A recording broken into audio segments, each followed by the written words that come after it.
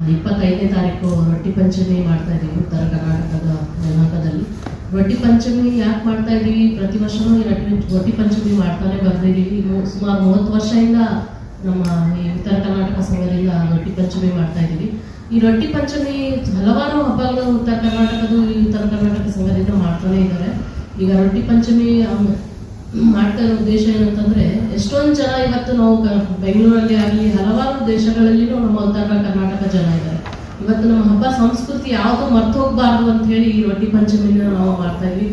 ನಿಮ್ಮ ಸಪೋರ್ಟ್ ಇಂದ ಇನ್ನೂ ಹೆಚ್ಚಿನ ಜನಕ್ಕೆ ಇದೊಂದು ಪ್ರೋಗ್ರಾಮ್ನ ರೀಚ್ ಆಗ್ಲಿ ಅಂತ ಹೇಳಿ ತಾಯಿ, ದಯವಿಟ್ಟು ಇದನ್ನ ಎಲ್ಲ ಕಡೆ ಸ್ವಲ್ಪ ಪ್ರಚಾರ, ನಿಮ್ಮಿಂದ ನಮಗೆ ಸಹಾಯ ಮಾಡಿ ಅಂತ ಹೇಳಿ ನಾವು ಕೇಳ್ಕೊತೀವಿ.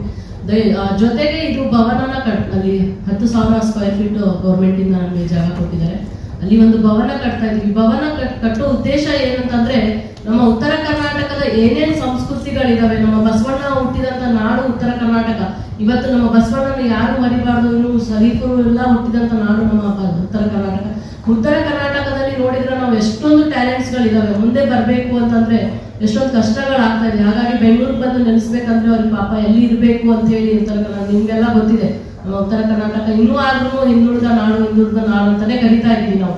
ಅದ್ರ ಮುಂದೆ ಬರ್ಬೇಕು ನಮ್ಮ ಟ್ಯಾಲೆಂಟ್ಸ್ ಉತ್ತರ ಕರ್ನಾಟಕದ ಟ್ಯಾಲೆಂಟ್ಸ್ ಇನ್ನೂ ಎಲ್ಲ ಎಲ್ಲ ಕಡೆ ಗೊತ್ತಾಗ್ಬೇಕು ಅಂತಂದ್ರೆ ನಾವು ಅದಕ್ಕೆ ಒಂದು ಭವನ ಕಟ್ಟಿ ನಮ್ಮ ಯಾರ್ಯಾರು ಯೂತ್ಸ್ ಇದ್ದಾರೆ, ಎಷ್ಟೊಂದು ಜನ ಟ್ಯಾಲೆಂಟ್ಸ್ ಇದ್ದಾರೆ. ಕೆ ಎಸ್ ಮಾಡಬೇಕು ಐ ಎಸ್ ಮಾಡಬೇಕು ಅಂತ ಹೇಳಿ ಎಷ್ಟೊಂದು ಜನ ಸ್ಟೂಡೆಂಟ್ಸ್ ಆದ್ರೆ ಬೆಂಗಳೂರಿಗೆ ಬಂದು ನಾವು ಇದ್ದು, ನಾವು ದುಡ್ಡು ಖರ್ಚು ಮಾಡಿ ಪಾಪ ಕೋಚಿಂಗ್ ತಗೋಬೇಕಂದ್ರೆ ತುಂಬಾನೇ ಕಷ್ಟ ಆಗುತ್ತೆ.